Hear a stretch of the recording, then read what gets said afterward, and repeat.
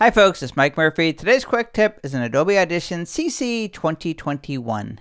In this tutorial, I'm going to show you how to drag clips onto the multi-track and have them all go onto their own tracks. By default, when you select clips in the Files bin in the multi-track and drag them onto the multi-tracks, they're going to place all those individual clips on one track. If you want all of the clips that you drag on from the Files bin to instead go into individual tracks, all you have to do is just press and hold the Option key if you're on a Mac or the Alt key if you're on PC, and that will change the behavior so when you drag the clips, instead of being on one track, they will all go on their own tracks individually. So one more time, I'm going to select clips over here in the Files bin, I'm going to drag them over to a track. You see they all are on one track, but I want them to be on individual tracks.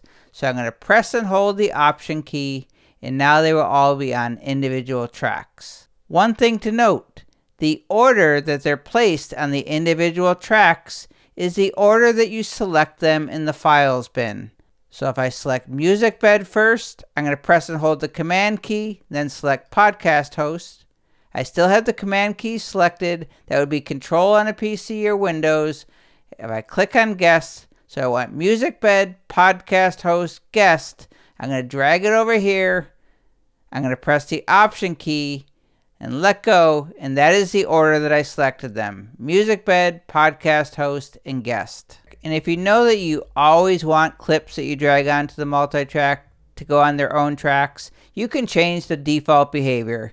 If you go up to Adobe Audition, Preferences, select Multi-Track Clips, you're looking for this section right here. When inserting multiple clips, it's currently set to add all selected files to the same tracks. You can just click on this radio button, place each file on its own track. If you see that note, it's telling you that keyboard shortcut that we just used, hold down the Option key while dragging multiple clips to perform the alternate. So whatever you have selected, when you press the Option key or the Alt key, it's going to do the opposite. I'll click OK. Now when I go back to the files bin, I have these selected. Remember, whatever order you have them selected is the order they're going to be placed on the tracks.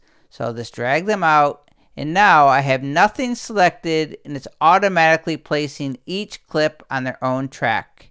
And if I press the option key now, they will all be placed on one track. I'm going to let go of the option key and there are all the clips placed on their own track in the order that I selected them.